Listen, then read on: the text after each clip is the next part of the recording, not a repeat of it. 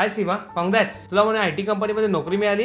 Thank you so much हो यंदा आमच्या आय आय टी मुंबईच्या एक हजार एकशे बावीस विद्यार्थ्यांना कॅम्पस प्लेसमेंट थ्रू नोकरी मिळाली. आहे अरे वा काय सांगतेस? हो अरे यंदा की नाही तीनशे एकसष्ट कंपन्यांनी सहभाग घेतला होता. इंजिनिअरिंग आणि टेक्नॉलॉजी क्षेत्रातून प्लेसमेंट झाल्या आहेत. Samsung Microsoft Goldman Sachs PW C मायक्रोकॉन semiconductor यांनी सर्वाधिक नोकऱ्या दिल्यात. आणि हो तुला माहितीये इतर आंतरराष्ट्रीय कंपन्यांचा सुद्धा यामध्ये सहभाग होता. यावर्षी की नाही सतरा लाख पंच्याहत्तर हजार रुपयांचं सरासरी वार्षिक वेतन विद्यार्थ्यांना देण्यात आलंय. आणि तुला माहितीये का? सगळ्यात जास्त वार्षिक वेतन किती आहे ते? किती रे? पंचेचाळीस लाख रुपये. शाळेला सही आहे. आय टी मुंबई तर भारीच आहे. आय आय टी मुंबई आहेच मुळी भारी नुसतंच करिअर नाही तर विद्यार्थ्यांचं आयुष्य सुद्धा घडवते. भरारी घेऊ इच्छिणाऱ्या विद्यार्थ्यांच्या स्वप्नांना आय आय टी संस्था पंख देते. नुसतंच आय टी टेक्नॉलॉजी नाही तर chemical engineering civil engineering electrical engineering यासारखे पदवी कोर्सेस सुद्धा इथे चालतात. आणि हो आय आय टी मुंबई सारख्या संस्थांना केंद्र सरकार आणि फडणवीस सरकार पाठिंबा देत आहे. म्हणजे मोदी सरकार. अरे मोदी सरकार तर ग्रेटच आहे रे.